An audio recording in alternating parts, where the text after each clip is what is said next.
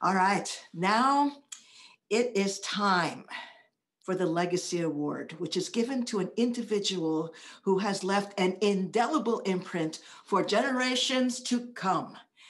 Dr. Estela Reyes Garcia has been recognized as a model of that kind of leader for our community.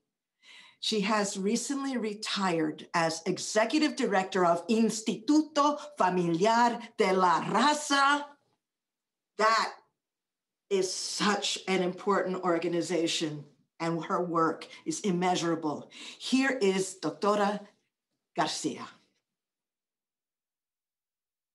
Saludos a todas y, um, and congratulations to the Chicana Latina Foundation tonight, and particularly to the scholarship awardees. Um, we are, I am so grateful for this award.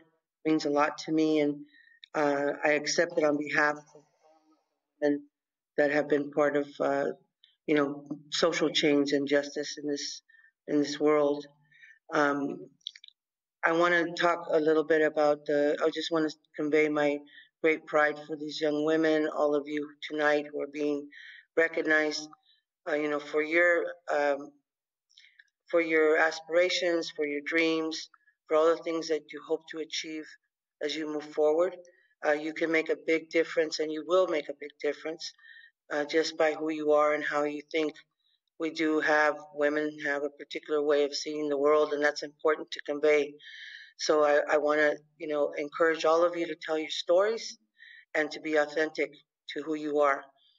Um, tonight, I just want to um, say how important it is for us to, you know, be and uh, support each other. Um, the healing in our community is important, and we are absolutely, uh, you know, in absolutely need to continue to take care of each other and to you know sustain the hope and healing in our communities and you're all part of that. I want to end by saying that you know thanks to my ancestors to our ancestors to our relatives to our um, all the people around us who have most recently passed which is uh, Maria X Martinez we thank them for everything that they've given us and you know keep them in your heart and your mind and remember them, and they will give you strength. Once again, thank you so much for this award, and uh, may you all have, um, you know, maintain your hope and healing in your lives. Thank you.